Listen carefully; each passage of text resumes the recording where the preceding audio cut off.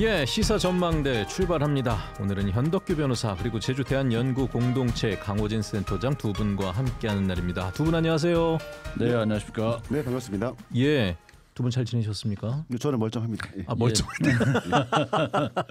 아, 저는 지금 예. 독감 걸려가지고 한 아, 일주일째 고생했는데 예, 좀 예. 그, 끝자락인 것 같습니다. 예, 목소리가. 좀 잠겼을 겁니다. 예, 멀쩡하신 분과 조금 더 덜 멀쩡하신 분과 함께하는 날인 것 같습니다. 자, 저희 예고해 드린 대로 오늘 어, 국토부의 제2 공항과 관련한 주민들의 의견 수렴에 대한 답변이 나왔는데 이 내용을 보면은 제기된 문제에 대해서는 다 보완 가능하다.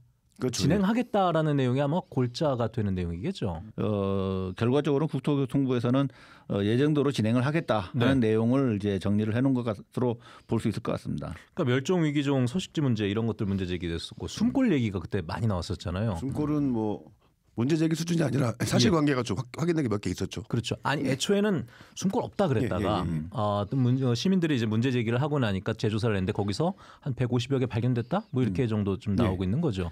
근데 그것도 보완 가능하다. 그건 라는 이제 게 국토부 입장인 건데 예. 예. 그것도 다시 검증은 필요하다 보입니다. 예. 음. 그 다음에 일단 국내선 전용으로 계획을 하고 있다라는 거 확인을 다시 한번 했고요. 예. 군공항 계획은 없다라고 지금 못을 박았다라는 게 그 언론 보도로 나오고 있는데 이 부분 은 어떻게 보셨습니까? 글쎄요, 그러니까 지금 군공항 관련된 얘기가 자꾸 나오는 이유는 예.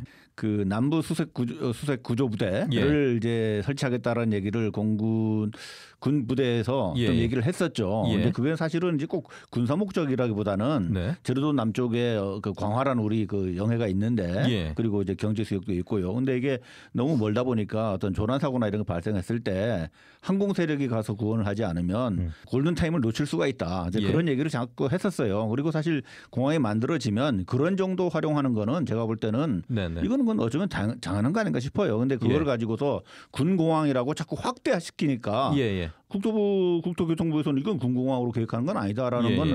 어, 그건, 그건 어떤 정석의 답변이죠. 예, 예. 문제는 예.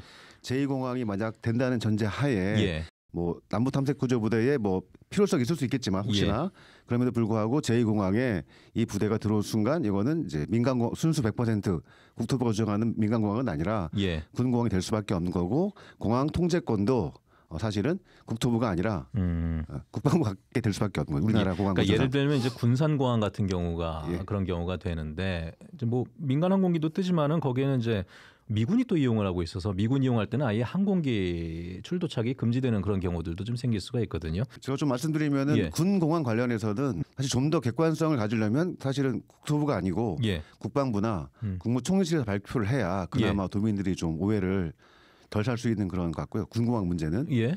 사실 뭐 군공항으로 계획하고 있지는 않다고 봐야겠죠. 근데 이제 유사시에 어떻게 활용되는가는 건 그때 가봐야 하는 거고요. 유사시에는 사실 뭐 민간 공항, 공공항 어디 어디 저 구별이 어디 있습니까? 예, 급하면 고속도로도 활주로 비상 활주로도 사용하고 하는 거죠. 아, 그럼요. 그때 그때 전, 전략적인 예. 어떤 전술적인 상황에 따라서 바뀔 수가 아, 있는 건데 그러면은- 어떻게 천명한다는 것 자체가 예. 스스로 국가가 자기 발목을 잡는 것이라 돼서 그거, 그런 예. 거는 원래 계획은 그것이 아니었다라는 걸로 충분하지 않을까 저는 봅니다. 맞습니다. 이건 뭐 좁혀지지 않는 부분이네요. 알겠습니다. 근데 저는 국내선 전용도 약간 이제 문제 있다 고 보는 게 예, 예. 제가 알고 있는 이제 팩트는 뭐 대한항공 아시아나는 여기 쓰고 LCC 저가항공은 성선으로 가- 가도록 돼 있거든요. 예. 그러면 저처럼 어려운 서민들은 예. 가까운 제주공항을 버리고 네. 성산을 가야 되는 거죠.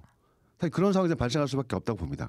이건 이제 조정의 여지가 있다라고 좀 조정의 얘기는 여지는 별로 없는 것 같긴 한데 여튼 그런 것까지 좀 명료하게 예, 예. 국토부가 알려주셔야 도민들이 제2공항에 대해서 판단할 수 있는 근거가 되는 거죠. 그렇기 때문에 뭐 지금 제2공항도 여기 향후에는 국제선으로 사용할 수도 있다라는 여지의 문장이 좀 들어가 있긴 합니다. 보니까. 뭐 하나만한 얘기고. 아, 그래요? 볼 때는 뭐 국내선 전용이냐 국제선도 같이 겸용으로 쓰느냐 하는 예, 거는 그건 그야말로 지금 이제 탁상 공론인 것 같아요. 아니 그렇지 않습니다. 왜냐하면 공항이라는 게 만들어지고 나면 예. 뭐 이제 공항 스스로 활용되는 게 아니라 항공사들이 어떻게 활용할 것인가 그리고 예. 어, 항공 노선 정책을 어떻게 펼 것인가에 따라 다른 것인데 그거를 지금 예상하는 거하고 막상 개항했을 때 앞으로도 한 10년 가까이 걸릴 것 같은데 예.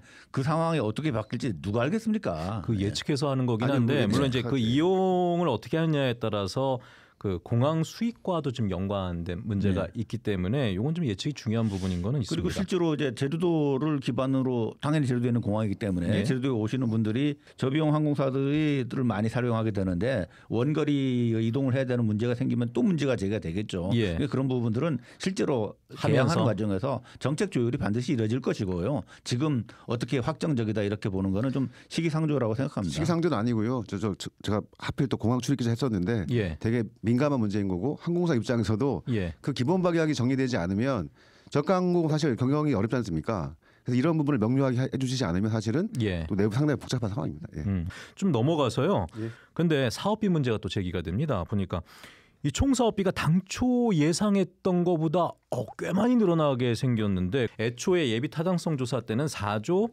8,734만 2천만 원의 예상 비용이 나왔었는데 지금 기본 계획안에 나온 것을 보니까 6조 8,900억 원이 예상된다라는 겁니다. 무려 41%가 늘었는데 그래서 이것도 타당성 재조사 들어가는 거 아니냐 뭐 이런 그 예측도 나오던데 이건 어떻게 보십니까? 물론 이제 어, 사업비가 어, 많이 증가될 거로 보입니다. 왜냐하면 이게 예. 처음에 계획이 위반된 이후로 너무 많은 어, 시간을 끌었어요. 그렇죠. 그 사이에 이제 물가도 많이 올랐고 네네. 특히 이제 땅값이 많이 올랐기 때문에 네. 전체적으로 사업 면적은 축소가 됐음에도 불구하고 비용은 더 늘어난 거죠. 원래 규정상으로는 이제 사업비가 총 사업비가 네. 15% 이상이 증가하면 하면 예. 새로운 절차를 진행해야 되는데 단서 조건이 예를 들면 물가 상승률이라든가 집가 관련된 것들은 빼도록 되어 있거든요. 예. 그런 국토부에서는 물가 상승률과 집가 상승률을 빼고 나면 한 10% 이내이기 때문에 문제가 없을 것 같다라고 얘기를 하고 있, 는것 같긴 합니다만. 이제 그거는 이제 수치를 좀 객관할 필요가 있겠고요. 예.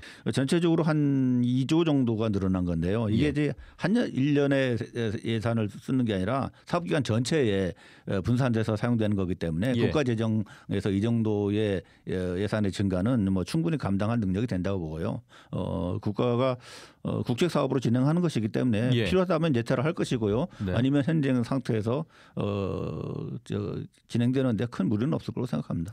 아무튼 이 돈 문제도 있습니다. 이건 뭐 앞으로 어떻게 될지 모르겠습니다만은 지금 가덕도 신공항에도 큰 돈이 들어갈 부분이 있기 때문에 예. 이거 자꾸 후순위로 밀리는 것 아니냐라는 또 전망들도 나오고 있기 때문에 그 총선 때 부분을 상황을 좀. 봐야 할 것 같습니다. 총선. 예. 총선 얘기 나왔으니까 총선으로 좀 넘어가 보죠. 이거 지금 또 이번 총선에서 제2공항이 이슈가 될 분위기입니다. 위성권 국회의원 더불어민주당의 위성권 국회의원이 이번에 입장을 좀 명확하게 밝혔네요. 제2공항 해야 된다.